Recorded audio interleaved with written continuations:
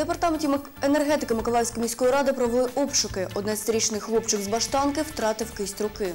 Малюк з Миколаївщини став рекордсменом України. Доброго ранку в ефірі телевізійні, телевізійні новини Миколаївщини. В студії для вас працює Світлана Кльосова. Протягом прямого ефіру на екранах ви бачите нашу електронну адресу, за якою зможете звертатись до редакції, а також посилання на наш Ютуб канал та сторінку мережі Facebook.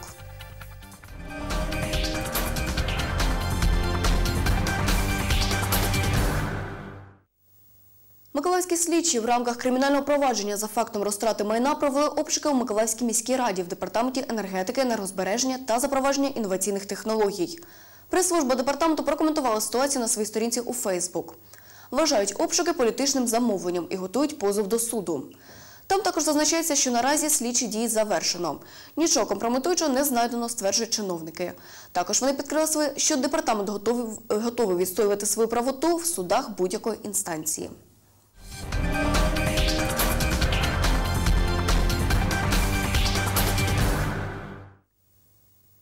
Шестикласник Сергій, який 17 лютого в Баштанці втратив руку, зараз знаходиться в травматологічному відділенні Миколаївської обласної дитячої клінічної лікарні. Хлопчик втратив кисть правої руки. З Баштанської центральної районної лікарні 11-річного Сергія доставили до Миколаївської обласної дитячої клінічної лікарні. За словами лікарів, зараз його стан стабільний. Поруч з ним знаходяться батьки. З журналістами спілкуватись відмовились. До обласної дитячої клінічної лікарні Сергія привезли о 3 годині ранку. Про стан хлопчика розповів Олег Бабін, заступник головного лікаря з лікувальної роботи. Мы очень благодарны врачам Баштанской центральной районной больницы, которые, в принципе, на их плечи... Ми дуже вдячні лікарям Баштанської центральної районної лікарні. На їхні плечі лягла перша допомога. Вони сформували куксу. І в подальшому для подальшого лікування серед знеболювання та інших тактичних дій дитина була відправлена до нас.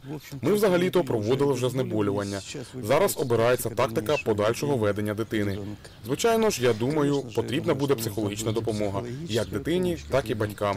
Але в подальшому, напевне, все-таки потрібно буде вирішувати питання, щоб у дитини був протез. решать вопросы о том, чтобы у ребенка был протез. Хлопчик перебуває в ортопедо-травматологічному відділенні.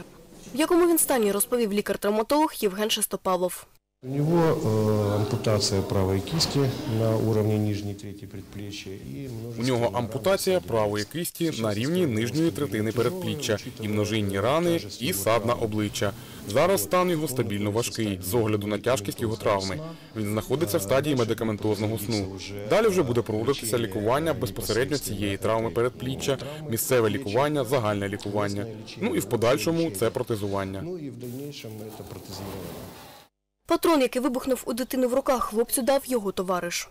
Поліцейські виїхали на місце події. Було встановлено, що 11-річний хлопчик приніс додому набій, якому з його слів йому подарував його товариш. Дитина намагалась розкрутити боєприпас. У цей час він вибухнув, і в результаті хлопчик отримав тілесні ушкодження. Поліцейські з місця події вилучили уламки від е, набою калібру 12,7 мм. Зараз встановлюються усі обставини подій, направлені на з'ясування усіх обставин. Тобто ми будемо дізнаватися, звідки у того молодшого хлопчика був цей набій, хто йому його надав і з якою метою. Зараз за вказаним фактом розпочато два кримінальних провадження. За частиною першої статті 263 Кримінального кодексу України це незаконне поводження зі зброєю, бойовими припасами або вибуховими речовинами, а також за статтею 128 Кримінального кодексу України це необережне тяжке або середньої тяжкості тілесне ушкодження.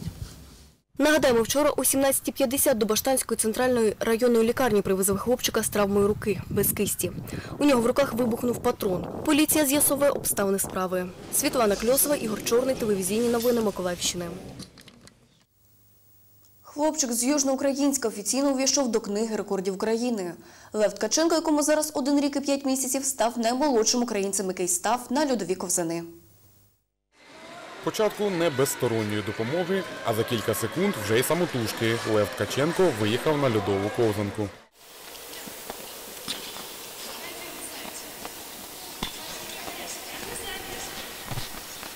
Лев Ткаченко молодша дитина у сім'ї. Його мати Юлія Ткаченко говорить, її старший син Олег з минулого року займається хокеєм. Лев побачив брата на льоду з ключкою і почав проявляти цікавість. Почали потрохи виводити на лід, і е, я навіть я навіть не сподівалася, що, е, що він піде. Ну мені якось не вірилось, бо ну дуже маленька дитина. Йому тільки виконалось тоді один рік, тільки тільки один рік і п'ять місяців. Коли я побачила, що він крокує перші кроки, в мене було ну таке. Велике задоволення е, і така віра появилась. Це було ну, дуже класно.